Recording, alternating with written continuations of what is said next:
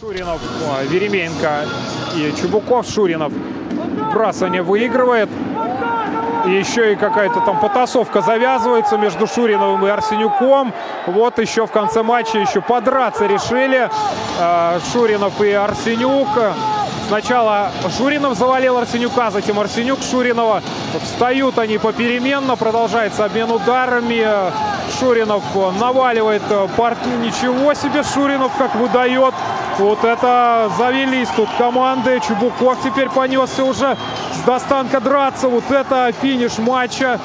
Чубуков показывает характер, показывает, как, э, э, как умеет драться. Ну, достанка тоже тут э, наваливает, в свою очередь. Чубуков уже без майки. Чубуков все же достанка на лед заваливает, но нет, Роман поднимается.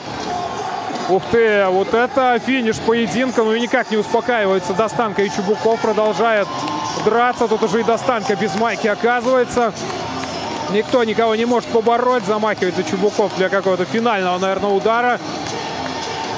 Смотрим, чем это все закончится. Ну, заканчивается это тем, что лайнсмены поспевают. Ну и вот такое, такой всплеск эмоций и такой жест от Максима Чубукова очень я считаю, что очень правильный, очень важный э, для э, важный месседж, наверное, для трибун и для болельщиков. А, победила в матче. Э, кто победил в драке, я, естественно, не буду никаких выводов делать. Потом еще пересмотрим ее. Сейчас прямо тоже можем это сделать.